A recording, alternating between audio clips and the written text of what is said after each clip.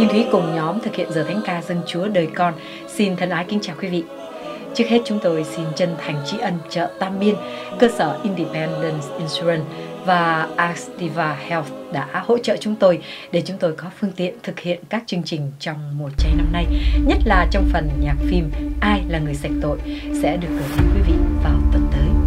Và để bắt đầu chương trình, Kim Thúy xin mời quý vị cùng hiệp ý với các chị Hiền Trần, Phương Phạm, Themmy Nguyễn và Teresa Nguyễn trong nhạc phẩm Tâm ca Mai Đệ Liên, một sáng tác của linh mục nhạc sĩ Paul Văn Chi.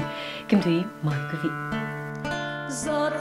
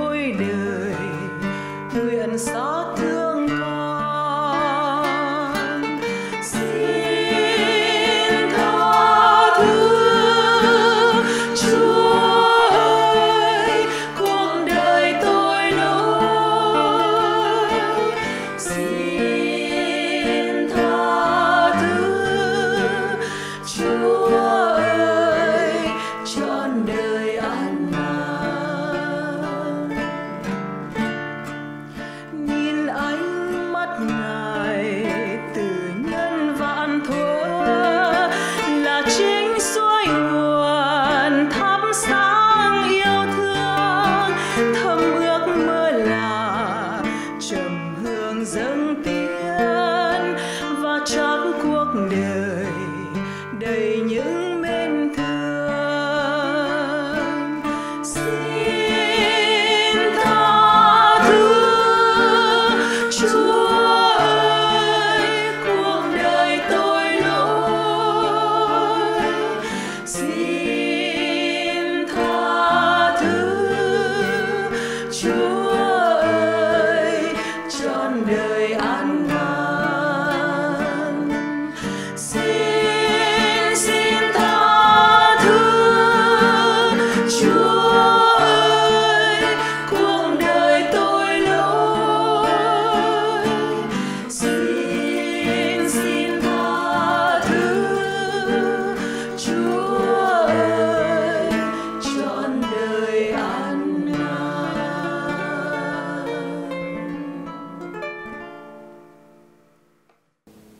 áo tím thì chỉ sự ăn năn thống hối.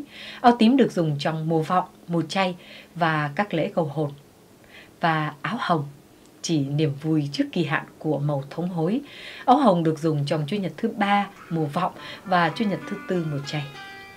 Trở lại với chương trình Thánh ca hôm nay, nhóm Tư ca sẽ trở lại với quý vị với nhạc phẩm Tình Chúa. Kim Thúy mời quý vị theo dõi.